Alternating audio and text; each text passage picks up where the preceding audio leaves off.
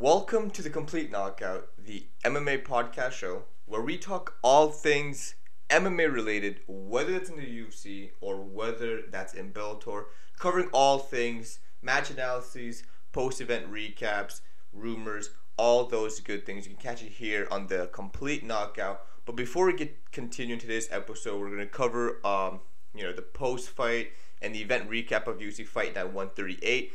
I just want to ask you guys and thank you for all the support. Thank you for commenting, liking, and subscribing to the channel.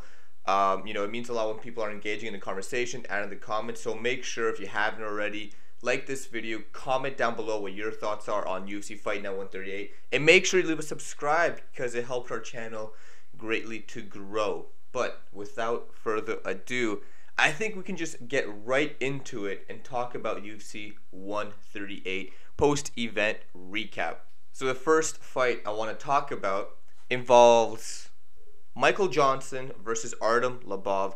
And I made a video prior to this discussing the situation Artem Lobov is in with his, you know, professional mixed martial record, with the fact that he's coming off two losses in a row, uh, that he was originally scheduled to fight Zubaira Tukhugov, but we know that he was removed due to his altercation in the bout at UFC 229, and so now we had Michael Johnson versus Artem Lobov, and I was very critical and very harsh on Artem Lobov in my video where I made discussing uh, and, pre- and doing my fight prediction, and I said that you know I was confident Michael Johnson was going to get the victory. I was confident that he was able to, you know, pick Artem apart. I think he has more tools. I think he has more uh, versatility in his stand-up that Artem does. And I said that if Artem loses this fight, then you can probably say that this should be Artem's last fight in the UFC. And if it's not, well, you know, it's strictly due to the fact that he knows Conor McGregor, and it really depends on how much Conor McGregor can leverage himself to keep Artem Lobov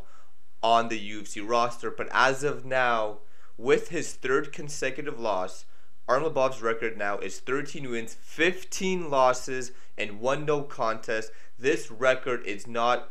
I don't like looking at UFC records as much, or you can have an ugly record, but you can be a champion. You know, we have Robbie Lawler. His record was a bit more, you know, he has a lot of losses, but he was a dominant U welterweight champion. Other examples, you don't have to be undefeated or have a few losses on your record to be a very dangerous fighter.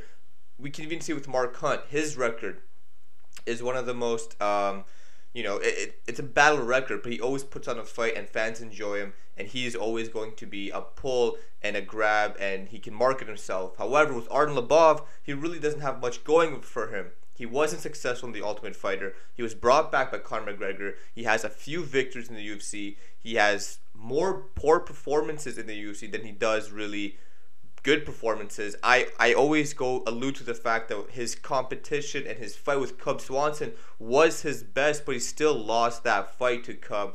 And then he went on to lose two in a row. And so, with his third consecutive loss to a hungrier Michael Johnson, who took this fight on two weeks' notice, came overweight, and just did work, picked Artem Lobov apart, cruised to that unanimous decision, took him to the ground, and really Artem Lobov just doesn't have the tools to compete in the top 10, top 15, let alone and maybe not even the top 20 of the UFC. I think if Artem wants to continue his career, he really needs to reevaluate himself, maybe change his gym.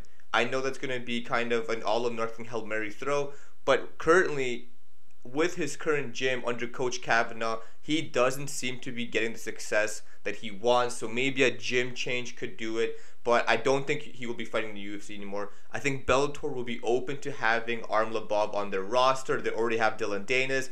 And you know, whether you like it or not, whether you kind of include the memes or not, Artem Lobov does have some sort of pulling power. There's a reason why he was a co-main event fight for UFC Moncton. He has a bit of a following. He's known as Conor McGregor's really good friend, training partner, whatever you want to call him. And he has this meme floating around the internet that he is the greatest of all time. Goat Artem Lobov. Shout out to the Discord server for pointing that out.